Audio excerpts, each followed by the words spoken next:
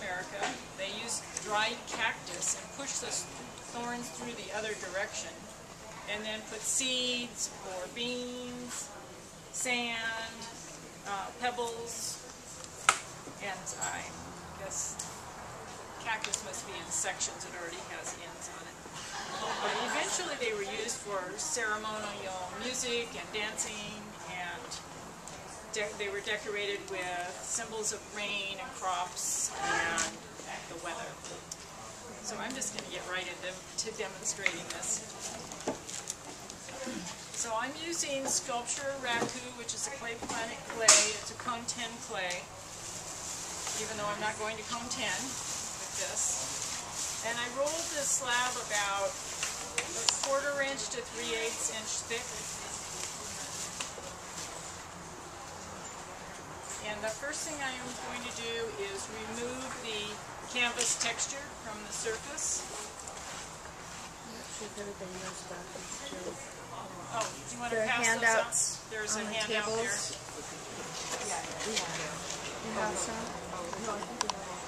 We're good. We're good. We're good. Anybody else see a handout? Everybody has one? I always remove the canvas texture, not on the inside because you'll never see it, but I don't want it to compete with whatever texture I want to put on here. And these scrapers work really well for that.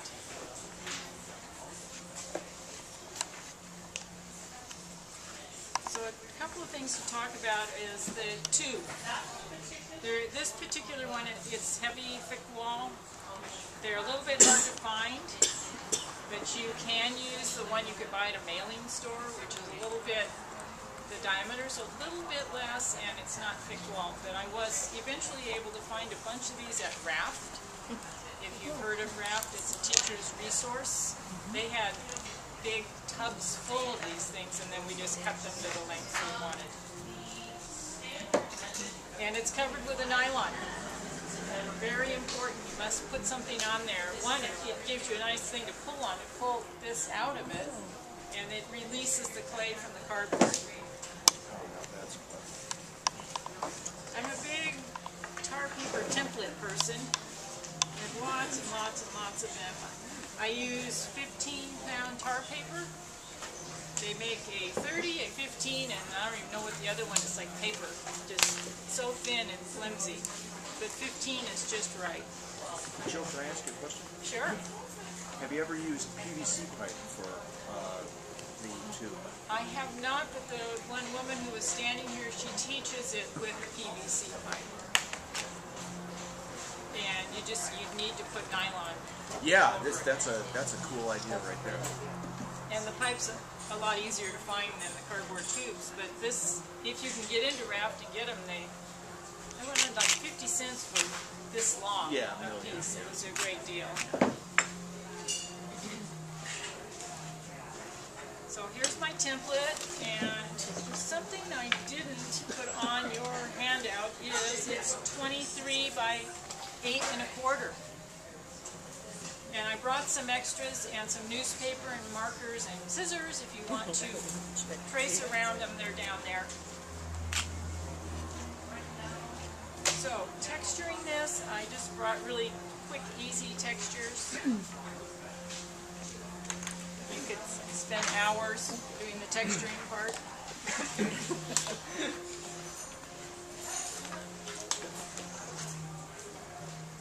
but to make it easy, I have these nice rolling stamps. I'm just going to roll. Anybody who wants to stand up or come and look,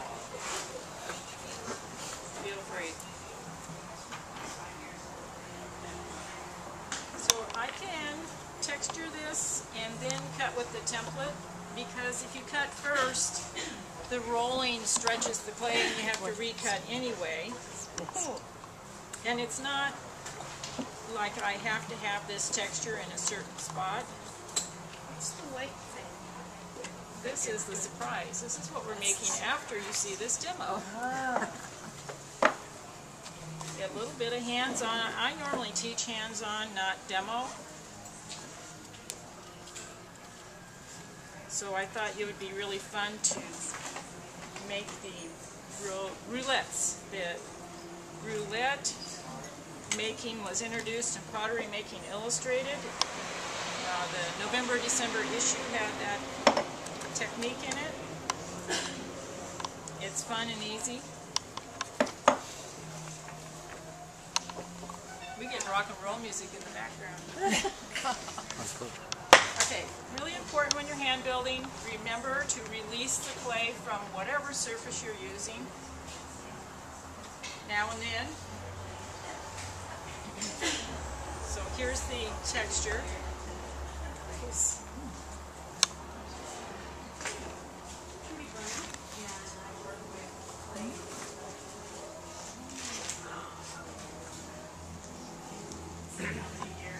So the ends I just cut straight.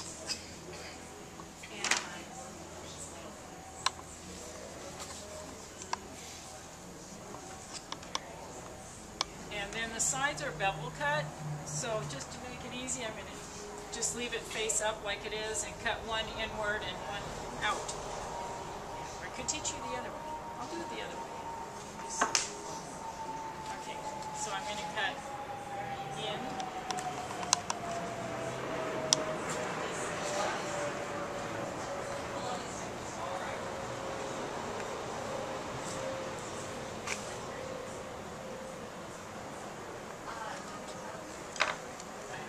and then roll this this direction.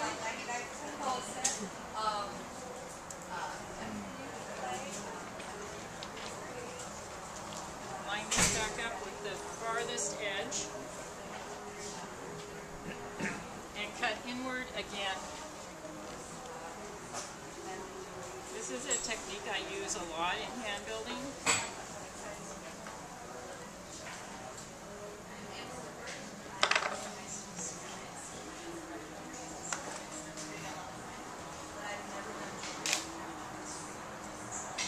Loosening in.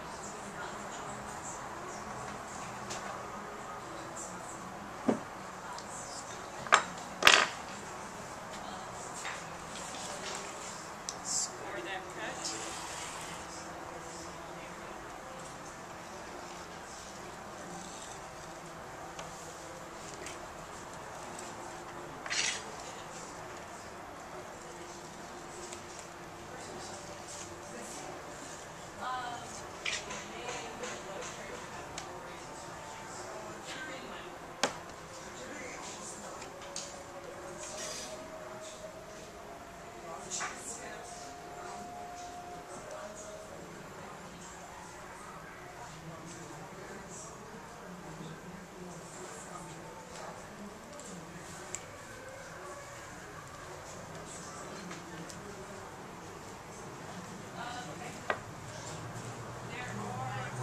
Slip. This is paper clay slip. I take paper clay that you, it's commercial paper clay that comes in a 25 pound bag. Grate it with a cheese grater into a cup and cover that with water just for a few hours and then whip it together and you have instant paper clay slip. Is it so much stronger than just a normal raku slip? What is raku slip? Or just like you're using your raku clay and making your own slip just for I, your... I really like it a lot and you can use it for repairs in the blow dry state. It works great. Hmm. It's great. I had stepped outside. Could you tell me again what was in the the slip you're saying was really paper good? clay slip, the commercial paper clay slip. It's I just grate it with a cheese grater into a cup and cover that with water, and then whip it together, and you have instant great slip. Thank you. Uh, I work. I teach at Higher Fire in San Jose. where he sells one pound blocks of paper clay. Because who needs twenty-five pounds of paper clay? Unless you want to sell one pound blocks to your friends. And one pound block makes probably two of these full. So it, and it dries out a little, so you keep, I keep adding water, it lasts a long time. So uh, the shrinkage is minimized with. Uh, It shrinks very little anyway. The color is the biggest issue. I don't use it with black mountain clay, yeah. or if you're using Cassius clay or a red clay. If you need to use it, you need to clean up really well with a wet brush. But I use it for all kinds of clay bodies and it works great. And you can use it in low fire. Now, Jill, is, is the uh, commercial paper clay a lot stronger than the homemade or less I don't know the answer to that. Well, I wouldn't make it with newspaper. Make it with that really high quality watercolor paper, that thick paper, and you let it soak in Even cheap watercolor paper. I did, I'm sorry? Even cheap watercolor paper works well. Have Yeah. you uh, have you used it above cone 10? Well, between ten and eleven, but yeah, it's fine. Because when we would fire, we hit. 13. Yeah, oh, thirteen, I don't know, it'd be worth a try. It should be, Yeah, just curious. Yeah. Okay, so now I'm rolling this around, and hopefully it's gonna come together. It, it's a little bit short. So it's like a giant roller.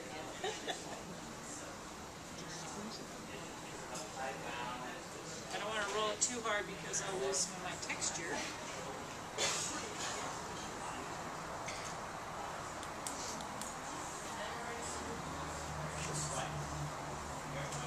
hardest part.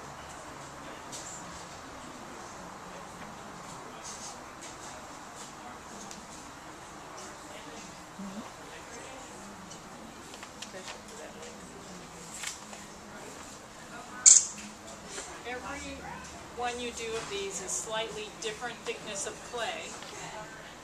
Unless you're doing a production of them and you've got your slab roller set for the right amount, right thickness.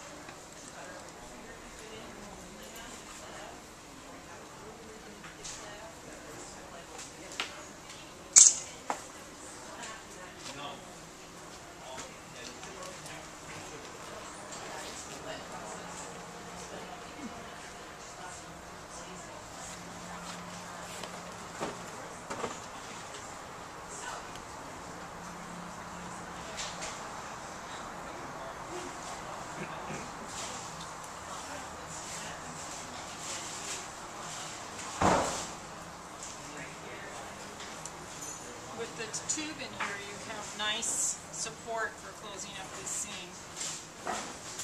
I have done it as an overlap seam, and I think you might see it on one of those over there. It just makes a bit of a bump instead of smooth all the way around. It's a little easier.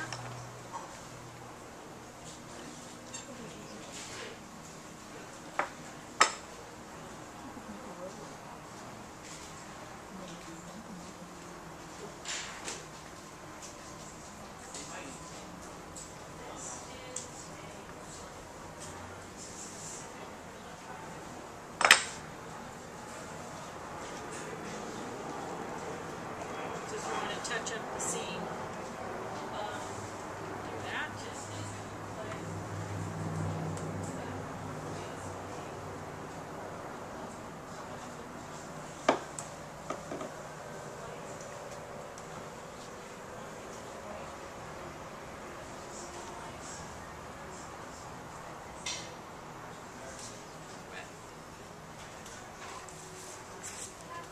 So I tried to dry the slab a little before, well, yesterday and this morning, because I want to move on to the next step. So hopefully it is dry enough to remove the tube already. Normally would use a heat gun on it.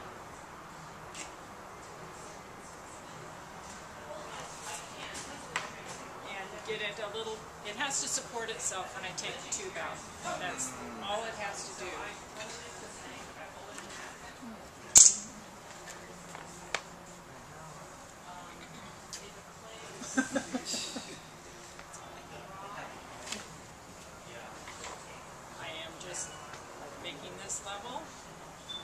attached to top and the bottom.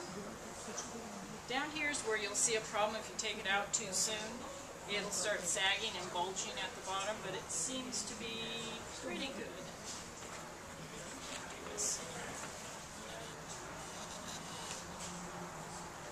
Wow,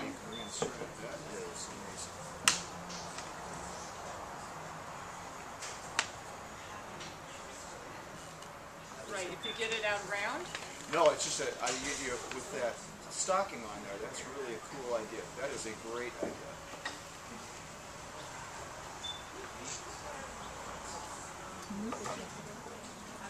Yeah.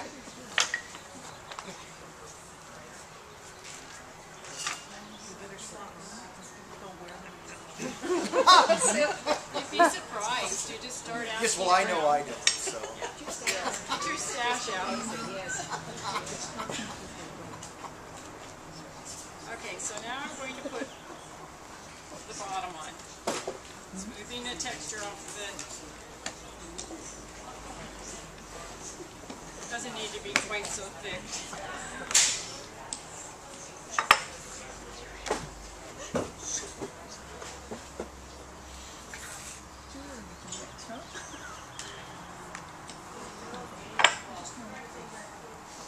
So I have uh, done a lot of hand building in the past few years and discovered that I love this set of cutters.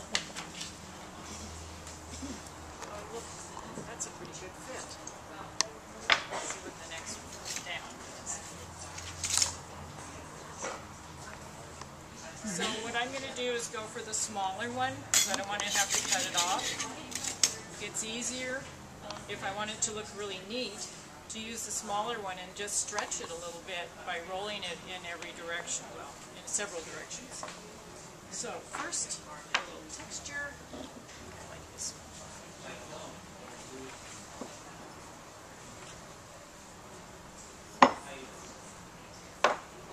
Oh, I forgot to use my star stamp.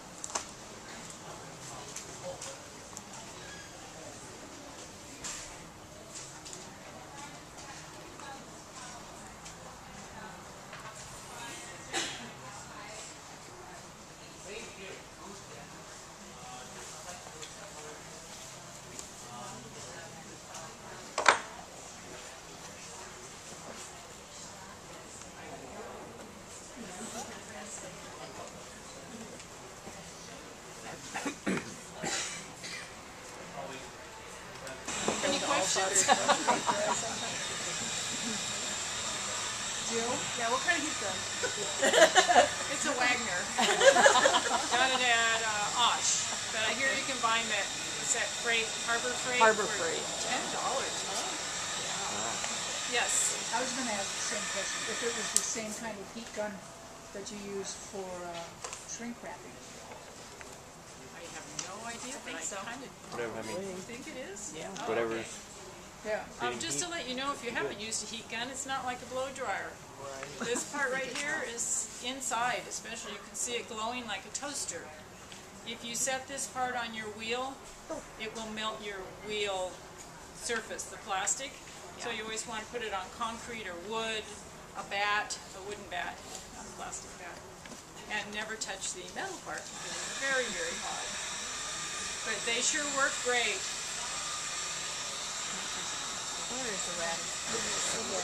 Just Google Raft San Jose, R-A-F-T. Don't you have to be a tech to utilize it? Yeah, I, so the can story get a is, one-day pass. you have to be a real teacher, not a ceramics, you know, studio teacher. So I go in there not knowing that I couldn't purchase anything. Oh, wow. But if you pay thirty-five dollars, they'll let you shop. Well, I was buying two dollars worth of things. I wasn't paying thirty-five dollars for shopping. But the nice lady in there who was working in there said, "I'll I'll get them for you. So She checked out and I gave her the money for them. But yes, you do need to be a teacher to shop there. You need to be a member, I guess, You can get a one-day pass, for one-day thirty-five pass now for like five bucks or. Oh, really? They did not offer that. Maybe they took that away because it was too easy. Yeah, maybe. I did- haven't been in there for a few years. I don't know what they're- leaders and other people like that have access to it, so they must have deals. Yes, starting to shrink.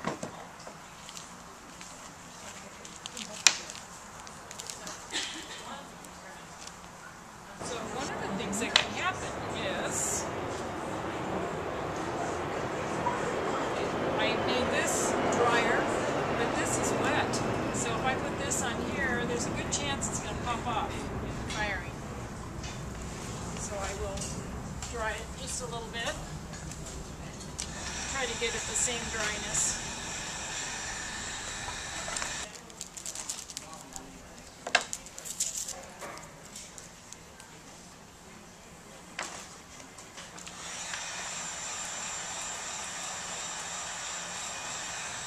These dry, small things like this with the heat gun, they dry really fast. So the edges are a little not so nice. So I'm just going to roll this. Makes the edges much nicer.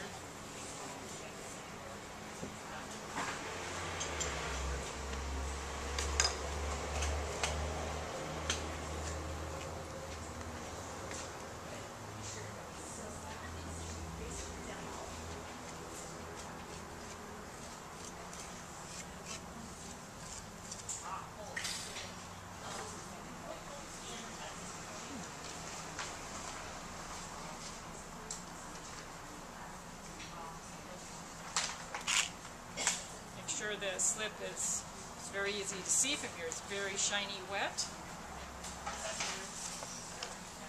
The reason I don't use stirrers,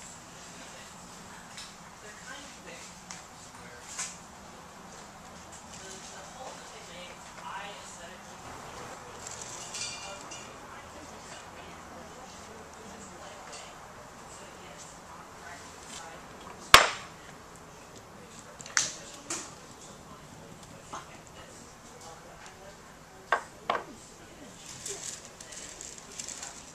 Jill, is there a reason why you have it that size?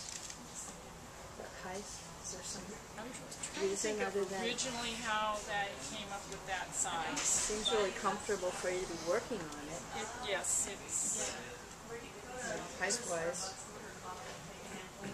If they were shorter, they probably wouldn't sound very good. I think if you make them short, you don't get nearly as much soothing sound, rain sound. But I've seen them shorter. Okay, so this is looking pretty good now.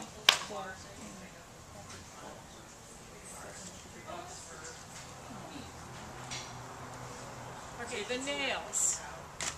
I recommend this uh, finish nail. Has no head on it really, just a very tiny head. There's a finish nail and there's a common nail. The common is the one you build a house with, a framing nail that has a big head on it. Also, they come galvanized or bright or stainless. It's- you'll know when you pick up the stainless and you check out and it costs 20 bucks for one pound of nails. Because I did that. Why are these nails so expensive? Well, if you would read the package, you would know why. So anyway, uh, get, I don't use galvanized, but my students accidentally have bought ones with heads and with galvanized. Nobody's used stainless. And they all go through the low fire okay. So it's not the end of the world, but I recommend this one, not galvanized, finish nail. So the nail piercing is every half inch in a helix pattern around here. And I do them about two inches apart. So the easiest thing to do is mark where you're going to start. And then go over two inches, mark it again.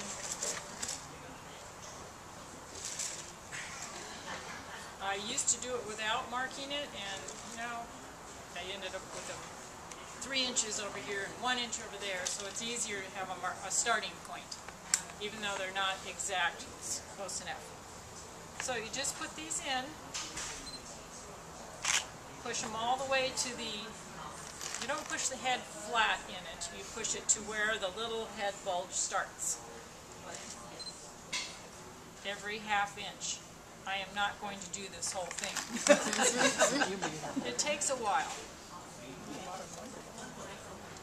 Like, does it really matter if they're so even, or is, It have you noticed matter. in the sound a random? But it does matter that they go in a helix pattern. Oh, okay. It does make a difference.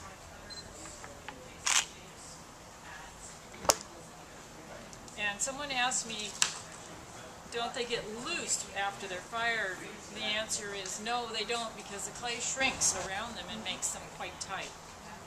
They do oxidize a little bit in the firing, so you'll notice, uh, in, this is a bisque one,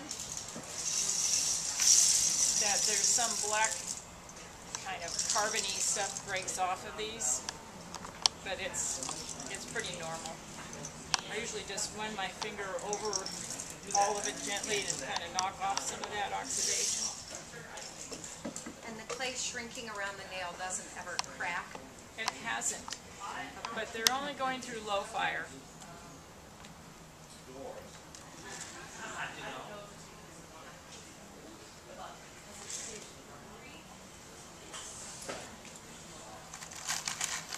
It doesn't take a whole pound to do this, three quarters of a pound.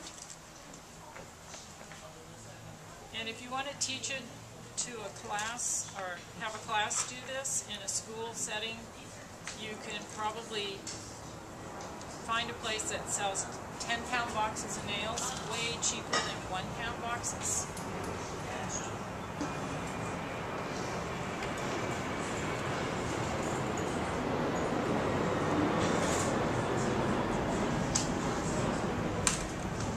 So on and on it goes with the nails. I would go all the way down, continuing that pattern, and then start another row. Up, and I actually kind of measure them. Cup when they're green, not when they're dried, because they shrink. And they are about this size, Did you make those? every one. to make this many, I'm not kidding, takes about three hours. So for selling these, you have to consider the, it's a third of a bag of clay, a box of nails, and three hours worth of this. Um, you can roll coils and cut them up, I was gonna say, but I think they eventually might chip off the edges because they're not rounded. Uh, I normally would watch a movie or something and sit and do this in my lap. Maybe over the next month, every project you have with scraps, I do that roll 20 well. minutes. because I use them inside other things, so I've discovered it's nice to have them on hand, and I do that with a lot of my scraps. These are bisqued? These are green. Oh, okay. They are not bisque fired. They don't need to be bis pre-bisque. So there's another method to this. I would normally would put all my nails in and dump these in. Put the lid on, and it's finished, uh, except for the air holes, got any air holes. But another way is to fire it with the lid off, fire it separately, and then put these in afterwards and glue the lid on with glaze or just glue it on because you only need to bisque fire it. I have not done that, but some people like that process. For me, I'd rather get it all finished. So I would dump these in, put the How do you lid on. make sure they don't stick to the wet clay? It's not that wet inside. I mean, you can't make it stand up when it's super wet, so you, you know it's not that wet. I, some of them might, but not that many. There's a lot of them here. Have you ever used anything else?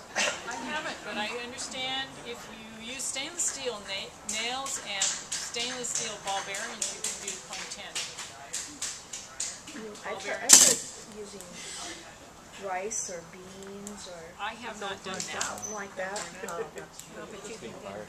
Well, no, you, uh, you, first. yeah, you Oh, I bisque get it it. first Bisque and then dump, in dump in some, Right. Rice And then or put the lid on. Yeah. But then that'd be it. I don't think you get the same sound. Maybe uh, with even sand. It's not gonna sound the same. Okay, so putting a hole in it, I use a nail.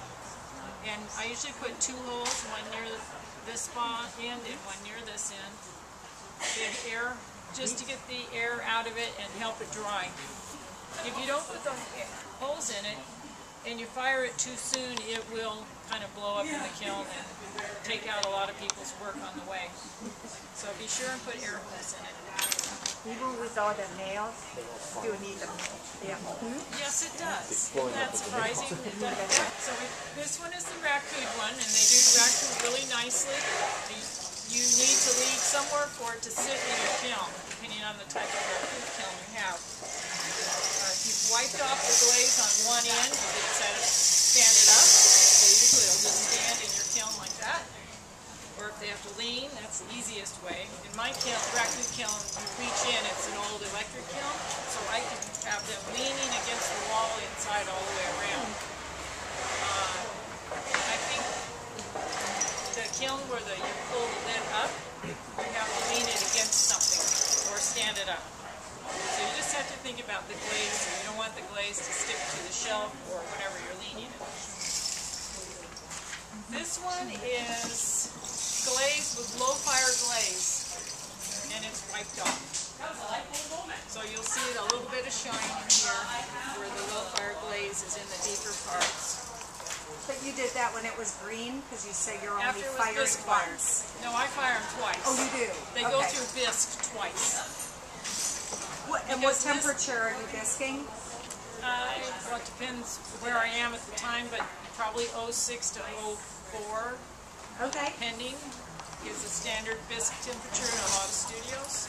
Um, so low fire glaze will mature in that. So you send it through the bisque firing, then you either glaze it with low fire glaze and wipe off the excess, because it, again, it's got to have, if you fire it like this, you can wipe off the bottom only and you could glaze it.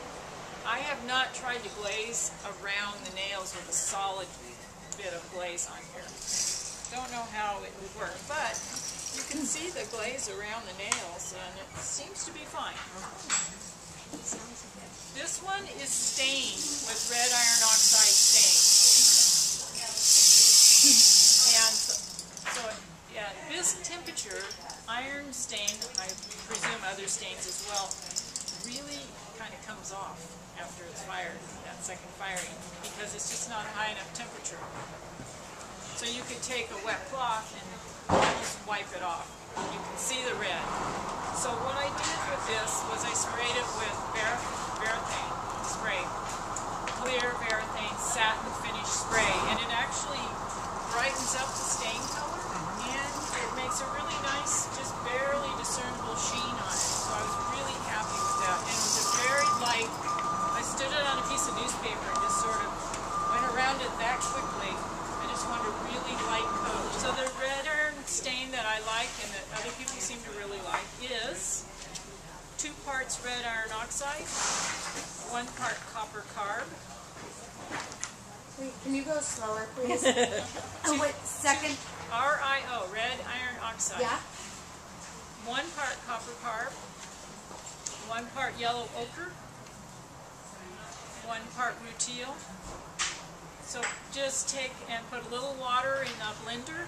I have a blender made for studio work, and uh, it's not made for that, but I use it for that.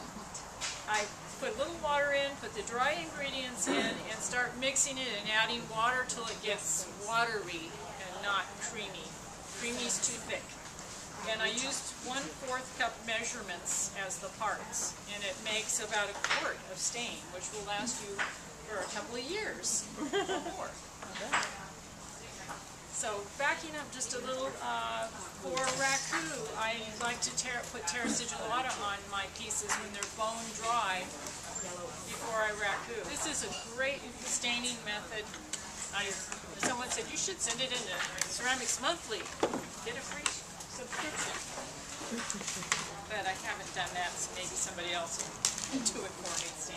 I didn't even know you guys sold it. But it's pretty easy to make. Yeah, it's easy to make. But some of us don't want to do that. Well, I have a blender, I have ingredients, so it's easy for me. Um, It does settle, no matter where you buy it, it's gonna settle, so be sure and stir it up.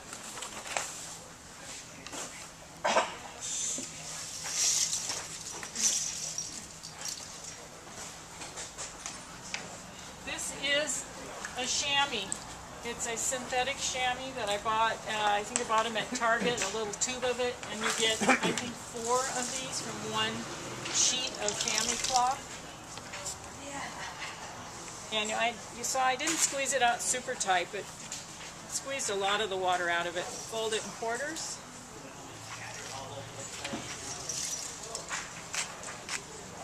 And apply the stain. Try not to get it on your floor. It dries super fast because bisque is so absorbent. And what I've discovered this method works really good for the rain stick as well. But especially on if you're using porcelain or glacia, the smoother clays, where when you wipe with a sponge, it pretty much removes all the stain. You're going, darn, how, do I get that? You have to restain it. I like lots of stain when I'm staining. I want it to really show. So, I got rid of the sponge idea. And as you know, if you don't, when you're staining, don't leave any, what we call hookahs. No holes with no stain. They show like little lights. light. So make sure you have it all covered. Then you take your squeezed out chamois, and the nice thing is you've got it folded in quarters and you have the whole other side of it. So you aren't in the water, in and out, in and out, in and out like you do with the sponge. And you just run it over the surface. Where did you get the chamois? You can buy them at auto parts stores or Target or Walmart. It's a synthetic, look in the auto section, chamois for cars. Look how much stain is still in. Oh, do this. Covering. It's great. And look, I've only used a little tiny bit. I can use four different sides here, four different sides there. And for, like I said, for smooth clays, it is really, really nice. Okay, then this would be bisque fired again. And then I take it home and Varathane spray it. And it's mm. finished. So what I want to teach you how to make are these uh, roulettes. Edges squeezed off of it, and it's a little bit round in shape. Just roll it gently. It doesn't need to be a perfect coil because you're going to flatten this and end up cutting it. So just like this is fine. About that thick. Thick. And I put boards on the table that show you what 3 8 is because I've discovered not everybody knows what 3 8 is.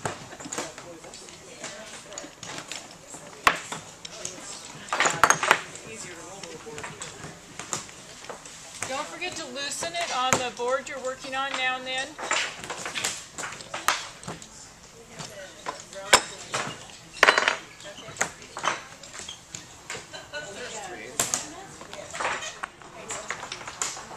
You can use, I, other odd shapes, but you're going to cut around this.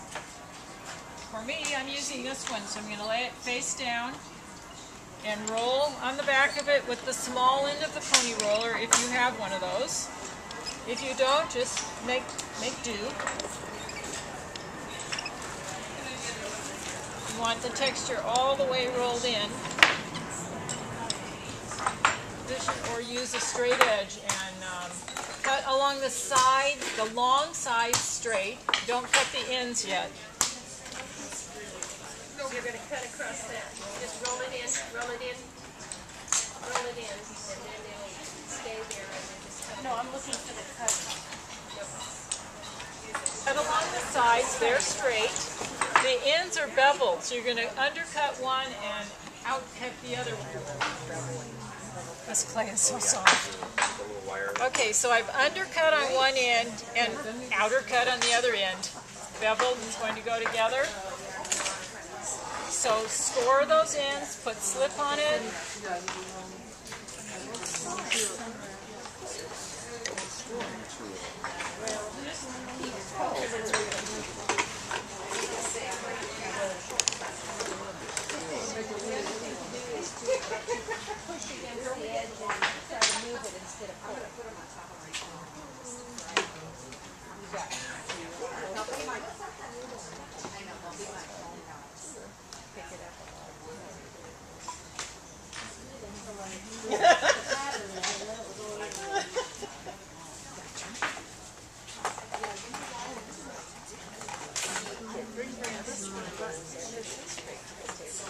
I put a funnel on your table so you can round them because they get kind of out of shape. The low fire white is so easy to work with that you won't have it as misshapen as mine.